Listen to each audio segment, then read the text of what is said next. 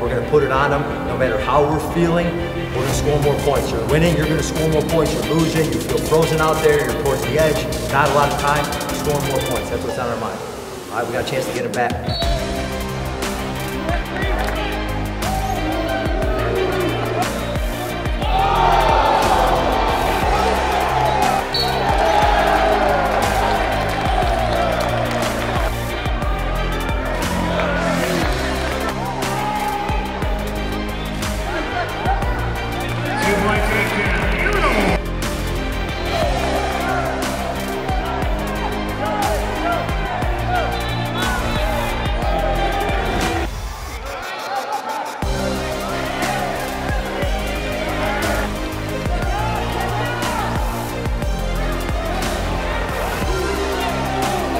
Your